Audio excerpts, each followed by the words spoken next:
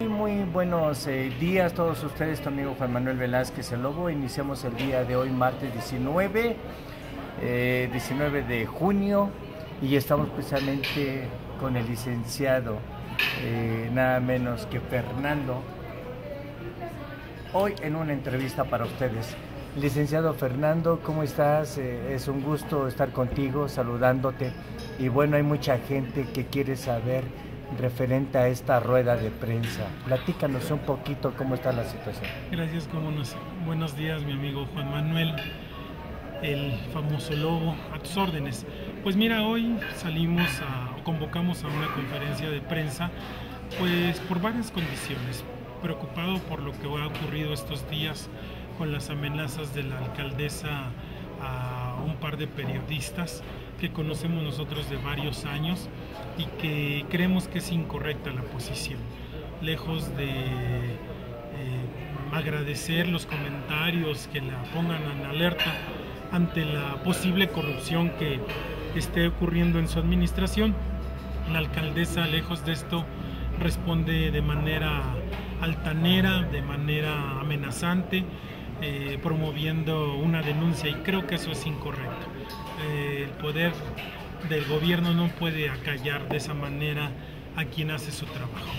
Y en este sentido nosotros vamos a seguir manifestándonos porque la alcaldesa ha decidido desde, creo que desde antes de empezar su administración, ella tomó su decisión de no, no escucharnos, de ignorarnos, de disminuir nuestra presencia en este municipio y pues hoy pues eso tendrá que pagar el error porque somos una fuerza política bien organizada en el municipio, eh, sin soberbia lo digo, la más eh, con mayor membresía en nuestro municipio, representamos una buena cantidad de pacenses y entonces pues no puede ser ignorados, pero la alcaldesa lo hace y nosotros pues vamos a defender nuestros derechos. ¿Qué estamos pidiendo?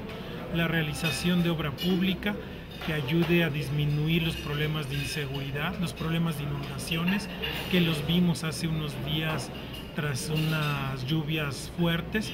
Eh, se colapsó la región nuevamente porque La Paz pues vuelve a ser noticia con sus inundaciones. Ahí están las imágenes de los autos totalmente tapados por el agua a la altura del puente de la cabecera municipal, del puente vehicular. De los términos también, ¿no? en los términos, impresionante la cantidad de lodo y de piedras que baja del cerro.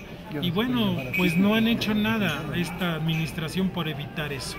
Pudiera decirse que son solamente seis meses, pero tres cosas yo quiero atajar ahí.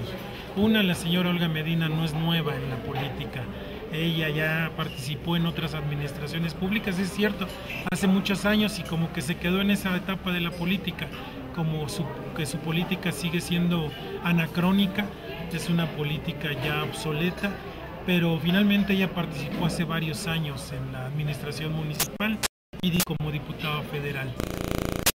No lleva seis meses, la ley establece que cuando ya le